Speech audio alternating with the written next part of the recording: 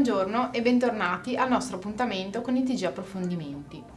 Con la consegna degli attestati di frequenza si è concluso il primo corso di saldatura pratica della durata di 120 ore, tenuto da IS presso l'Istituto Professionale Ipsia Calapso di Siracusa. Al corso hanno preso parte 17 studenti della quinta A, interessati ai processi MAG ed elettrotorivestito.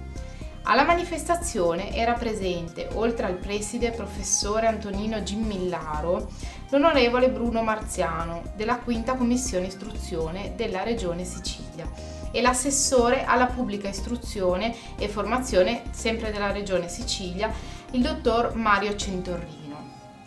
L'onorevole Marziano e il dottor Centorrino nel discorso di apertura hanno concordato con il professor Gimillaro sulla necessità di cooperazione tra industria e scuola, al fine di formare tecnici specializzati pronti ad essere immessi nel ciclo produttivo delle aziende presenti sul territorio.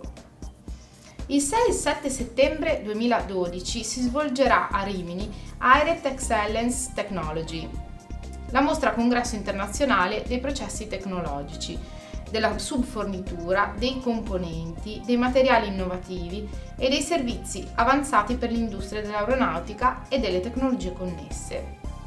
Potete seguire tutte le novità dell'evento e collegarvi al sito www.airet.it.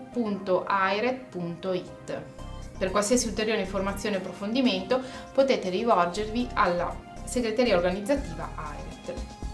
Sono aperte le iscrizioni all'edizione 2013 di MaxPay, l'appuntamento annuale dedicato alle tecnologie per l'innovazione, che si svolgerà a Parma dal 21 al 23 marzo 2013. Per ulteriori informazioni a riguardo e per chiedere la documentazione potete consultare il sito www.maxpay.com. Vi ricordo infine la scadenza del 30 giugno 2012 per poter aderire a Compotec SITEC 2013 che si svolgerà dal 6 all'8 febbraio 2013 a Carrara, usufruendo dello sconto del 10% sulle tariffe ufficiali. Per informazioni non esitate a contattare lo staff di Carrara Fiere all'indirizzo mail m.musumeci.carrarafiere.it. Per oggi è tutto, vi auguro una buona giornata e un buon weekend.